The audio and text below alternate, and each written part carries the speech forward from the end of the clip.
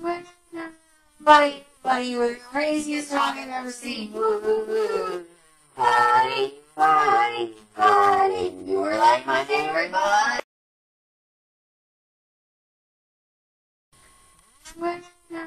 Buddy, buddy, you were the craziest dog I've ever seen. Buddy, buddy, buddy, you were like my favorite bud.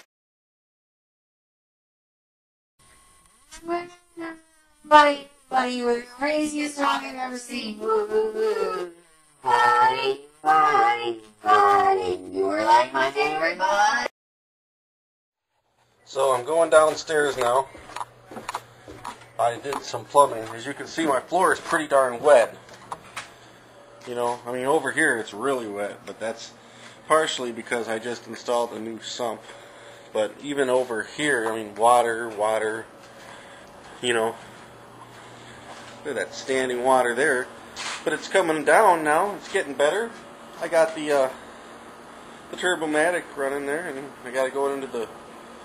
I took it from here to here. No reason to have two uh, pumps, you know. It's awfully democratic spending.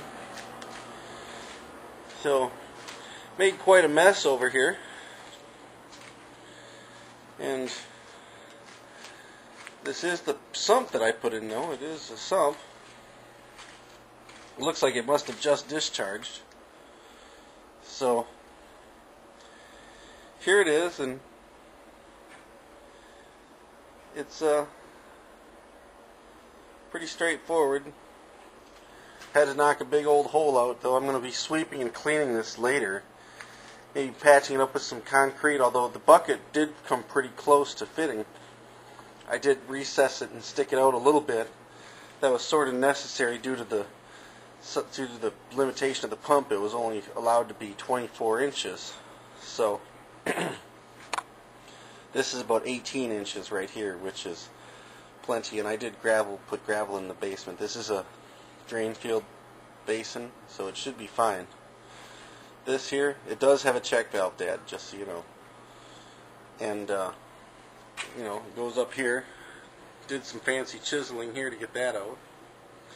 And I ran it outside. It's just draining out into the street right now, which so is everyone else's, so that's fine.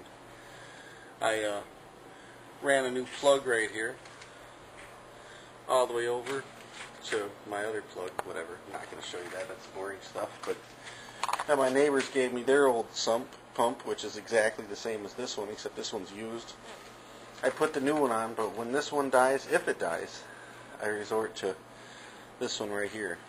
So, you know, first thing I got to do is clean up this floor, though. It's really pretty messy, and this dirt that's under the under the floor, it's not really conducive to growing anything. So, I don't know. But there's the pump, and there's still a little bit of sediment in the water. I do have gravel on the ba- on the bottom. I don't know if you can see that here. Eh. You know, I think you kind of can. It's hard to tell. But, but that's what's going on. Thank you.